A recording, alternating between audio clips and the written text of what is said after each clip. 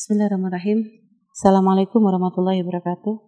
Alhamdulillahirrahmanirrahim. Wassalatu wassalamu ala ashrafil anbiya wal mursalin. Sayyidina maulana Muhammadin wa ala alihi wa sahbihi ajma'in amma ba'du. Sahabat muslimah yang dimuliakan Allah. Semoga Allah senantiasa membukakan pintu kebaikan. Memberikan kepada kita. Menutup dari segala kemaksiatan. Dan memilih kita menjadi orang yang akan dimuliakan di dunia dan di akhirat. Amin ya rabbal alamin. Alhamdulillah. Semakin dekat kita memasuki akan keluar dari bulan Ramadan yang mulia ini dan artinya masih akan tapi masih tersisa waktu bagi kita untuk menambal kekurangan-kekurangan kita di hari-hari kemarin dari bulan Ramadan dengan memperbanyak ibadah dan amal kebaikan dengan mengharapkan ridho dari Allah Subhanahu wa taala. Dan semoga di sisa hari bulan Ramadan ini Allah terus membukakan pintu-pintu kebaikan dan kemuliaan, menumbuhkan semangat tinggi di hati kita Jangan sampai semakin akhir bulan Ramadan kita malah sibuk uh, untuk hal-hal yang tidak berguna sehingga sisa hari yang ada di bulan Ramadan tidak kita manfaatkan sebaik-baiknya. Maka kita akan menjadi orang yang merugi karena kemuliaan Ramadan itu puncaknya adalah di akhir seperti yang sudah pernah kami sampaikan di pertemuan sebelumnya. Insya Allah semoga Allah terus membukakan pintu kemudahan, membuka pintu-pintu kebaikan untuk kita dan ini semua adalah dengan bimbingan dari Allah Subhanahu wa taala. Dan sebagaimana kita kata bersama bahwa ada satu tradisi yang sudah memang sering terjadi dari setiap tahun ke tahun, khususnya di negeri kita tercinta. Suatu tradisi yang mungkin yang memang unik ya, yang mungkin tidak tidak banyak kita temukan di tempat-tempat yang lain. Karena kalau sudah menjelang Ramadan dan ada satu tradisi mudik ya. Dan ini satu hal yang sangat-sangat unik. Orang berbondong-bondong dari ujung ke ujung, dari barat ke timur, timur ke barat. Mereka melakukan perjalanan jauh yang kadang Masya Allah tantangannya macam-macam. Dan biasanya setiap tahun ada saja hal-hal yang kadang ya Allah berita-berita yang kita dengar berkaitan dengan masalah mudik.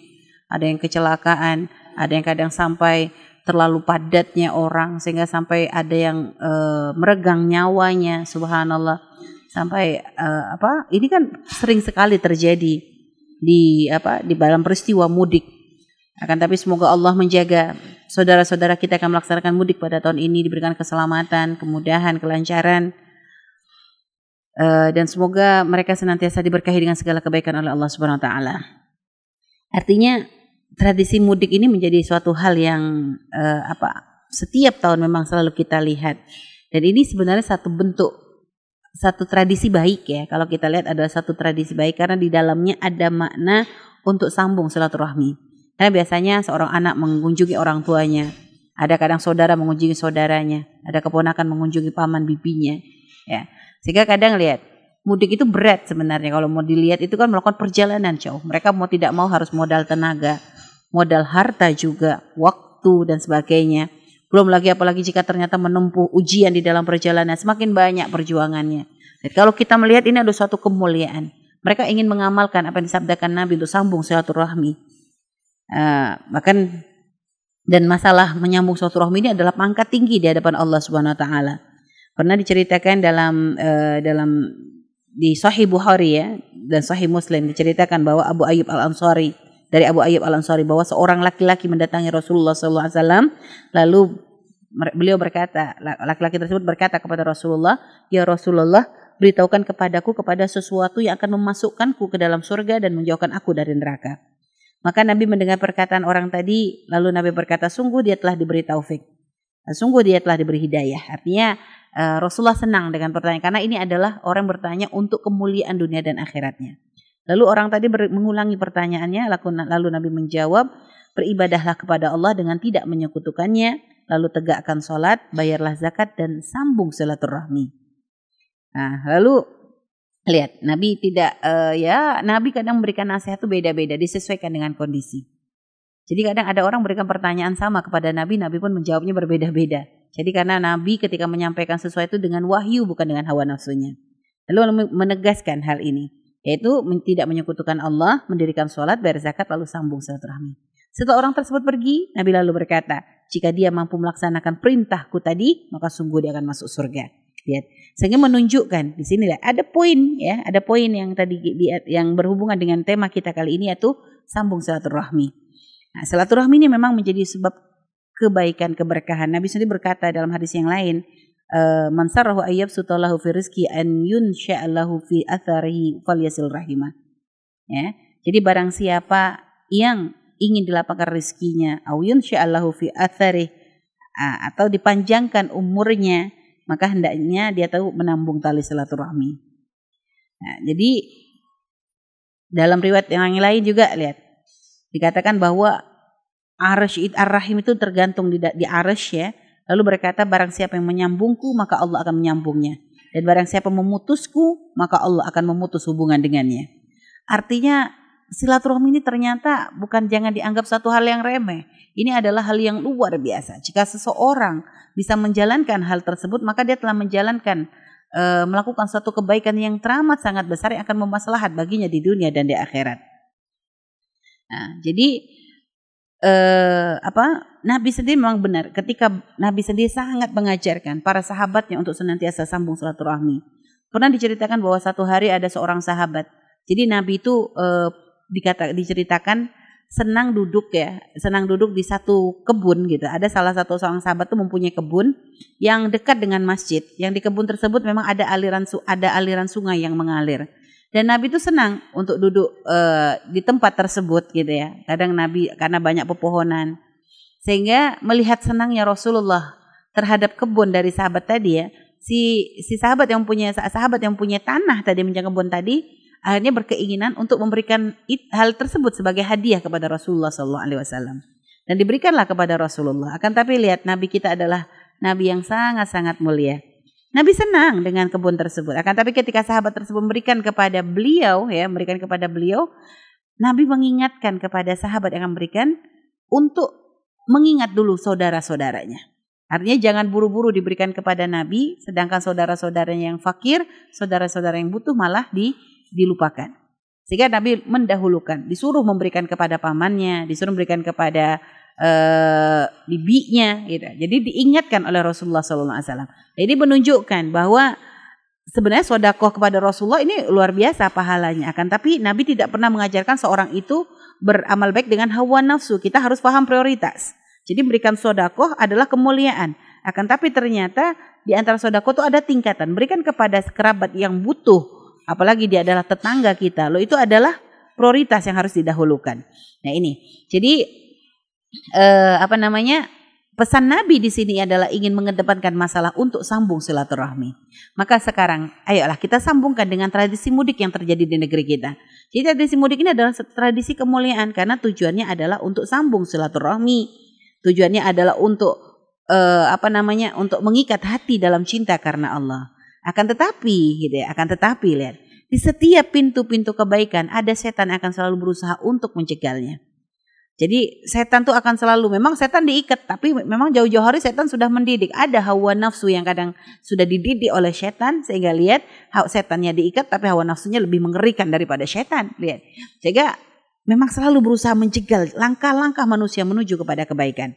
Sehingga mudik yang aslinya adalah menjadi suatu hal yang luar biasa ya. Jadi suatu hal yang luar sambung suatu rohmi. Ini kadang menjadi dikotori dengan sesuatu yang lain. Apa itu? Kadang ternyata mudik bukan lagi niatnya adalah untuk silaturahmi kepada keluarga, tapi dijadikan sebagai ajang pamer. Ajang pamer. Karena apa? Biasa yang mudik itu yang dari kota ke desa. Sehingga pengen menunjukkan, oh ini loh saya sekarang punya di kota, saya gara-gara ke kota nih, saya orang kota, saya punya mobil baru. Saya punya motor baru. Saya punya pakaian baru. Oh saya punya handphone baru. Saya tidak punya duit yang banyak. Lihat, jadi kadang ada kesombongan. Sehingga ternyata pulang yang seharusnya diniatkan menjadi suatu ibadah, ujung-ujung ternyata ada niat yang tidak baik di situ. Ingin pamer kepada keluarganya bahwa sekarang dia menjadi orang yang berhasil. Lihat. Ada lagi terkadang niatnya benar, memang pengen sambung silaturahmi. Lihat. Pengen sambung silaturahmi, tapi ternyata e, ternyata nanti dikotori apa? Yaitu tadi dikotori begitu dengan e, apa sudah berkumpul bersama keluarga, ujung-ujungnya malah tidak akhirnya kadang mohon maaf kadang mungkin melihat kekurangan atau apa akhirnya malah menjadi satu gunjingan atau ada lagi yang kadang secara dohir kayaknya sudah benar pengen sambung silaturahmi tapi ternyata ada tambahan bahasa soalnya kalau nggak pulang nggak enak Soalnya kalau nggak ziarah nggak enak lihat. Jadi nggak enaknya ini yang bikin nggak nggak indah lagi gitu loh. Menjadikan niat yang awalnya baik menjadi tidak tidak jadi berkurang keutamaannya. Kenapa? Karena bukan karena Allah dia menuju melakukan silaturahmi, tapi karena tidak enak. Nah ini kalau sudah tidak enak dengan manusia, ya artinya ya ibadah, ya apa yang dilakukan hanya ya yang penilaian dia adalah mencari penilaian dari manusia, bukan dari Allah. Maka ya tidak ada pahalanya karena innamal a'malu biniat. Segala sesuatu itu tergantung dari niatnya. Sesuatu perkara baik tapi ternyata niatnya buruk, lihat akan hilang itu kebaikannya. Gitu. Jadi makanya bagi para saudara uh, sahabat muslimah yang subhanallah akan melakukan suatu perjalanan pada uh, menuju keluarga ya untuk mudik ya ini mengikuti tradisi mudik ini maka kami ingatkan kami ingatkan di sini ayolah tata niat apa niat Anda ketika Anda berkunjung menemui saudara Anda melakukan perjalanan jauh mengorbankan tadi waktu tenaga harta dan macam-macam apa yang Anda tuju di situ kalau tujuan Anda adalah Allah, bersyukurlah Anda kepada Allah SWT. Maka lihat, kalau tujuan Anda kepada hanya adalah untuk Allah, maka sepanjang perjalanan ya, sepanjang perjalanan itu akan dinilai sebagai satu ibadah. Tapi ingat, niat baik pun harus diiringi dengan cara yang baik. Niatnya sudah baik karena Allah, memang pengen sambung kepada keluarga, bukan niat pamer, niat apa. Maka selama Anda menuju perjalanan tersebut, jangan sampai ternyata Anda menghilangkan pahala niat Anda dengan hal-hal yang yang yang yang e, melanggar Allah taala. Apa itu? Misalnya mungkin niatnya tadi sudah benar, eh ternyata perjalanannya salah. Perjalanannya apa? Gara-gara mudik meninggalkan sholat. Gara-gara perjalanan mudik meninggalkan sholat. Lah ini, makanya kemarin kita sudah ngajarkan bagaimana cara sholat praktis ya. Sholat bagi musafir itu ada. Jadi gak boleh ada gara-gara mudik males sholat.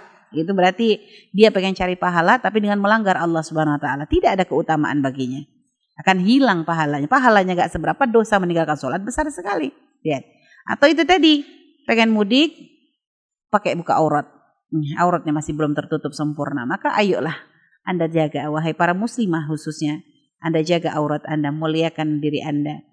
Tutuplah, berusahalah, bertahap. Mungkin Anda belum bisa sampai yang benar-benar syar'i minimal ada proses Anda untuk menuju kepada hal tersebut. Jadi itu. Atau apalagi berangkatnya Anda gimana? Pengen mudik tapi mohon maaf mungkin asal mendapatkan tumpangan.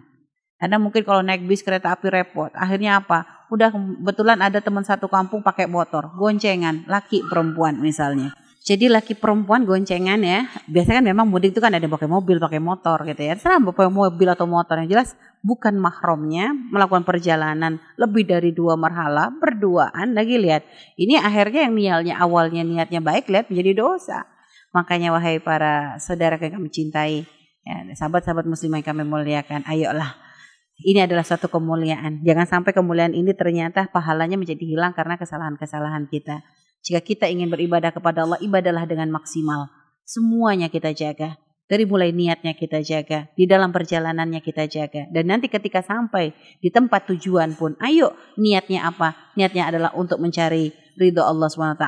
Kalau ternyata subhanallah niat kita bersambut, kita niat sambung silaturahmi, lalu ternyata keluarga kita pun menyambut, yang kita datangi menyambut dengan baik, berarti terjadi hubungan yang indah. Alhamdulillah berarti uh, itu adalah nikmat yang Allah berikan untuk kita. Kalau ternyata subhanallah sudah jauh-jauh kita melakukan suatu perjalanan dengan niat adalah untuk sambung silaturahmi nyampe ke tempat ternyata orang ingin kita sambung silaturahminya menanggapi kita dengan cara yang tidak baik mungkin e, melakukan satu hal yang kadang mungkin menyakiti hati kita maka kembalikanlah kepada niat kita kalau niat kita karena Allah kita tidak akan peduli bagaimana mereka menanggapi kita jadi apakah mau disambut baik atau tidak baik niat kita adalah untuk silaturahmi karena Allah Mungkin dia adalah saudara kita, dia adalah paman bibi kita, dia adalah keluarga kita, orang pernah dekat dengan orang tua kita. Artinya, ya artinya siapa pun eh, yang ingin kita sambungkan, maka jangan sampai niat baik tadi hilang gara-gara kita ngomel. Udah datang jauh-jauh misalnya. Udah didatangi jauh-jauh sambutannya kayak gini. Kapok lah lihat.